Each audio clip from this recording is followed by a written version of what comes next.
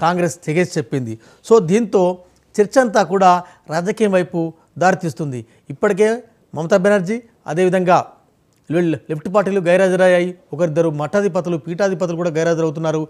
రకరకాల రాజకీయ వాతావరణం అయోధ్య చుట్టూ నెలకొంది. సో ఈ నేపథ్యంలో రానున్న లోకసభ ఎన్నికల్లో రానున్న సార్వత్రిక ఎన్నికల్లో ఇటువైపు దేశ రాజకీయాలు మలుపు తిప్పబోతున్నాయి. అయోధ్య రామాలయం బీజేపీకి మాత్రమే ఎజెండా కాబోతుందా?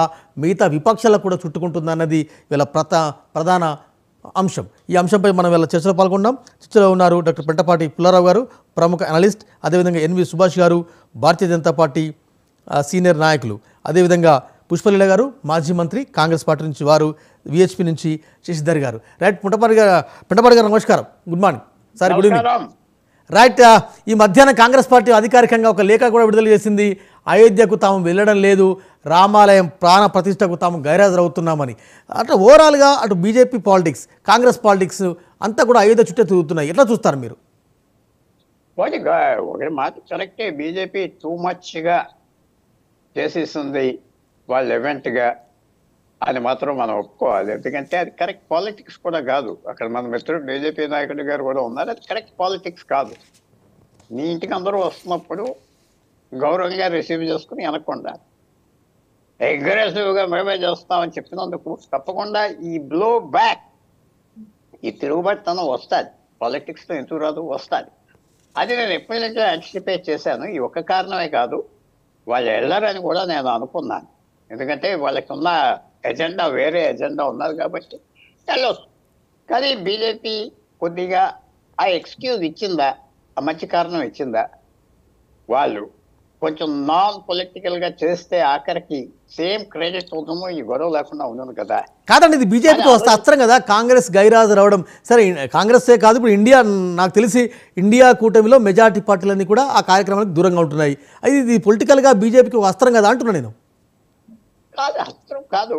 అది ఒక మైండ్ సెట్లో ఒక ఒక కారణం ఉంటుంది ఎందుకంటే రామ్ మందిర్ ఎస్ నార్త్ ఇండియాలో కదా అన్ని చోట్ల ఇది ఒక బీజేపీ చేసేది ఏంటంటే ఒక ఐదు వేల సంవత్సరాల నుంచి జరిగింది. ఐదు వందల సంవత్సరాల నుంచి జరిగింది. సివిలైజేషన్ భారతదేశ జ్ఞాపకం శక్తి జ్ఞాపకం ఉన్న ఈ జ్ఞాపకాలు జ్ఞాపకాలు. మనకున్నది యూనిటీ ఒక దేశంగా ఏంటి? కన్యాకుమారిలో ఉన్నవాడికి అక్కడ ఋషికేశ్లో మీకు నాకు ఒకే కామన్ మెమరీ ఉన్నది. మన చరిత్ర మళ్ళీ ఎవరు పరిపాలించారు ఎలాంటి జీవితాలు ఎంతున్నావు ఏం తిండి తిన్నాం. దానికి బీజేపీ న్యాచురల్గా అది మాత్రం ఫోకస్ చేస్తుంది. దాన్ని చేసే టైంలో నేను చెప్పేది ఏంటంటే కొద్దిగా డిప్లొమాటిక్గా చేస్తే బాగుండదు కదా. అంటే డిప్లొమాటిక్గా చేయాలా? అంటే ఎస్ పార్లమెంట్ హౌస్ ఫౌండేషన్ స్టోన్కి కూడా ఇలాంటి కాంట్రవర్సీ వచ్చి రాష్ట్రపతిని పిలిచి చేంజ్ చేస్తే అయిపోదు. ఇవాళ అయిపోయిందా? ఏమంటే ఎవరికి కావాలి పార్లమెంట్ హౌస్ మీరు చేశారా నేను చేసేనా చెప్పండి. సెక్రటేరియట్ తెలంగాణలో చక్క సెక్రటేరియట్ కట్టారు. ఎవరికి కావాలి?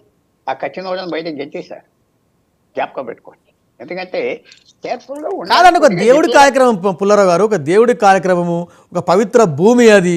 ఆ దాన్ని కూడా ఇంత పొలిటిసైజ్ చేయడం అవసరమా?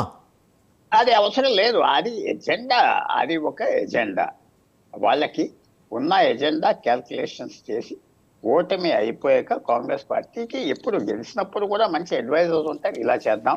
ఆ ఓటర్ కోపం వస్తుంది. ఇలా చేస్తే అలాగ వెళ్తారు. ఇవన్నీ పని జరగవు ఆఖరికి. ఎందుకంటే ఆ తప్పులు వేస్తున్నారు కాబట్టి చిత్తుగా పద్నాలుగులో ఓడిపోయారు. ఒక బ్రాడ్గా ఎస్ మల్లికార్జున ఖార్గే వెళ్తాడు పెదమడితో వస్తాడు లేకపోతే రాహుల్ గాంధీ వెళ్తాడు లేకపోతే ప్రియాంక గాంధీ గుళ్ళకి వెళ్ళటం మనం చూస్తున్నాం. ఆమె భర్త కూడా ఎక్కువ గుళ్ళకి వెళ్తారు హాలైనా వెళ్తారు. ఏదో. ఒక చేయవలసింది significant గా చేయలేదంటే వాళ్ళకి లెక్కలేదు కూడా.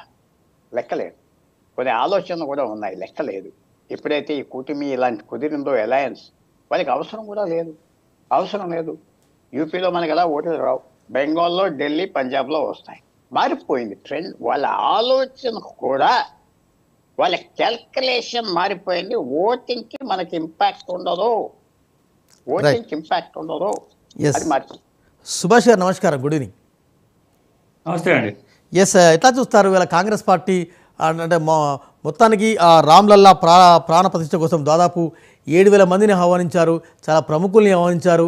అన్ని రాజకీయ పక్షాలను అవమా ఇన్వైట్ చేశారు. అంటే ఇప్పటికే లెఫ్ట్ పార్టీ సీతారాం యేచూరి తర్వాత లెఫ్ట్ పార్టీలన్నీ కూడా రిజెక్ట్ చేశాయి. కానీ కాంగ్రెస్ పార్టీ పోతదా పోదా అనే నేను ఒక మీమాంస ఉండే. కానీ ఇవాళ కాంగ్రెస్ పార్టీ కూడా తేల్చేసింది అంటే బీజేపీ ఆర్ఎస్ఎస్ కలిసి ఒక పొలిటికల్ ఈవెంట్ ఒక పొలిటికల్ ప్రాజెక్ట్ పెట్టుకున్నాయి. అయోధ్యకు పోవాల్సిన అవసరం లేదని కాంగ్రెస్ ఓప ఓపెన్గా చెప్పేసింది. ఎందుకు బీజేపీ అలా చేసిందంటే ఏం చెప్తారు? నమస్కారం అండి. నైన్ టీవీ ప్రేక్షకులకు వెంకట్ గారికి తర్వాత అక్కడ ఉన్న ప్యానల్ సభ్యులందరికీ నమస్కారం. ఇవాళ ఉన్న పరిస్థితుల్లో ఈ రామ్ మందిరం అనేది మనకు చాలా క్లియర్గా తెలిసిన విషయం. ఐదు వందల సంవత్సరాల నుంచి చాలా అంటే ఎన్నో కేసుల దగ్గర నుంచి మొదలుకొని ఒక ఇష్యూ అనేది మనం చూస్తూనే ఉన్నాం. పంతొమ్మిది వందల తొంభై రెండులో బాబ్రీ మస్జిద్ కూలిపోయిన తర్వాత అనేకమైన కేసులు. ఈ కేసు అనేది ఇప్పుడు భారతీయ జనతా పార్టీ అధికారంలో వచ్చినప్పుడు కానీ లేకుంటే కాంగ్రెస్ పార్టీ అధికారంలో వచ్చినప్పుడు వచ్చినప్పుడు కాదండి ఇది. పంతొమ్మిది వందల పద్దెనిమిది వందల తొంభై నాకు తెలిసినంత వరకు పద్దెనిమిది వందల తొంభై నుంచి కోర్టు కేసు అనేది నడుస్తుంది అంటే ఐదు వందల సంవత్సరాల చరిత్ర